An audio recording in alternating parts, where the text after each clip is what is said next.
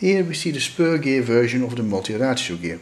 As you can see on the top it has 10 teeth and at the bottom it has 6 teeth. This is the same one as in the animations.